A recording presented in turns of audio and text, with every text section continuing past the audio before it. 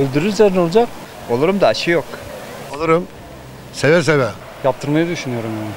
Hayır olmak istemezdim. Yok ben aşı yaptırmak istemiyorum. 2021 yılı aşı yılı olarak dediler, dilden dile doladılar. Peki vatandaşımız bu konu hakkında ne diyor? Hep birlikte görelim. Covid aşısı yaptırır mıydın? Yaptırırdı. Neden? Sonuçta dünyada yaygın olan bir hastalık bu.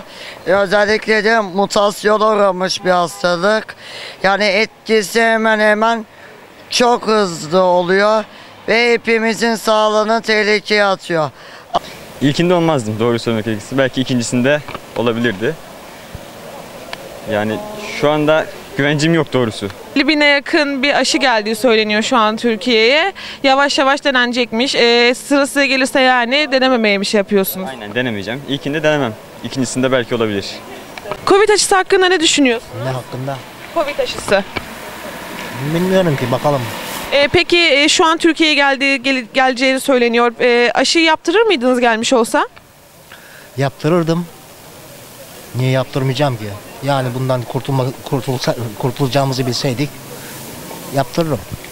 Yaptırmayı düşünüyorum yani.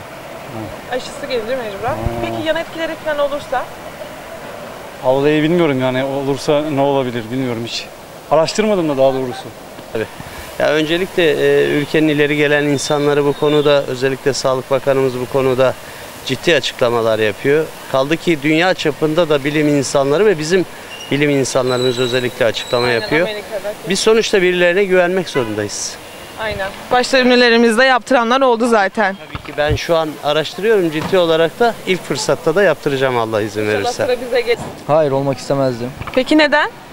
Ya bir nedeni yok. Yani ne işe yaradığını bilmediğim bir şey olmak istemezdim. E, aşının bizi iyileştirdiği düşünülüyor şu an ve onun için uzmanlarımız yaptırmamız gerektiğini söyleniyor. Ama sadece düşünülüyor işte.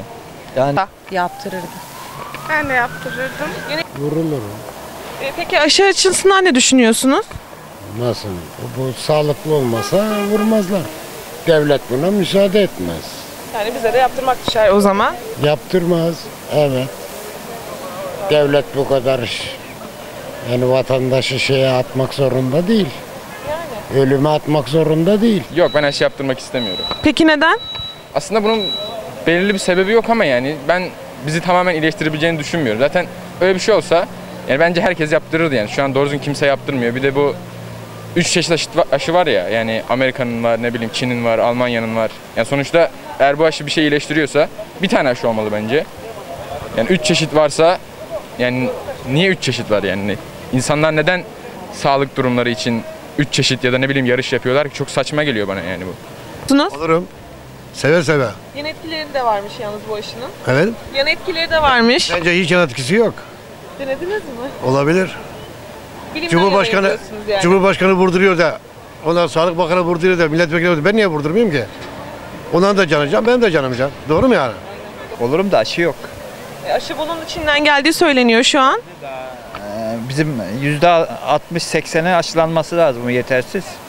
E, 50 500 50 bine kadar bir e, aşı geldiği söyleniyor. Yakın zamanda bir aşı tarihi olacakmış.